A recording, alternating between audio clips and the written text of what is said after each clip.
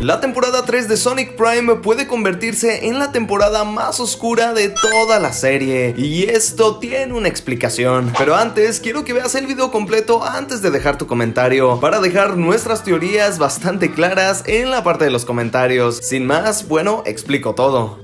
Y es que últimamente he empezado a teorizar bastante sobre lo que podremos esperar para la tercera temporada de Sonic Prime, que como sabemos podría ser la última. Si recordamos lo último que ocurrió en esta segunda temporada, donde Nine se convirtió en el villano inesperado de esta temporada, creo que Sonic tendrá muchos problemas de confianza para esta tercera temporada. Y es que Sonic confiaba bastante en 9, o sea, literalmente lo consideraba su mejor amigo. Pero ahora con todo esto y su traición, pues claramente Sonic tendrá varios problemas de confianza. Incluso justo en el último segundo antes de que acabe esta segunda temporada, se puede ver a Sonic básicamente llorando. Claramente Shadow estará bastante involucrado en lo que veremos en esta tercera temporada, ya que él le advirtió en varias ocasiones que no confiara en nadie. Y al parecer a Sonic le tocó, pues bueno, aprender a la mala.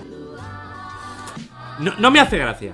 Me he reído un poco, pero no me hace gracia. No está bien esto, ¿eh? Con todo esto no hay duda en que, pues bueno, en esta tercera temporada nos tocará ver un Sonic un poco más serio. Aunque claro, como es Sonic, pues bueno, no faltará uno que otro chiste. Sin embargo, con todo esto, creo que Sonic tendrá un gran desarrollo de personaje para esta última temporada. Vaya que aún tenemos bastantes dudas de qué ocurrirá para el final de Sonic Prime. Pero bueno, solamente el tiempo nos dará las respuestas a todas estas preguntas por ahora solamente nos toca teorizar un poco. En lo que no dudamos nada es que claramente Sonic y Shadow unirán fuerzas para solucionar todo este gran problema. ¿Será que en esta ocasión Sonic sí se pondrá un poco más serio? Pues, eh, bueno, lo descubriremos.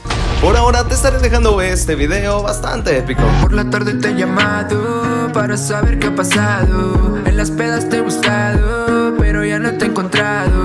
Pensando en cómo volver repetir otra vez.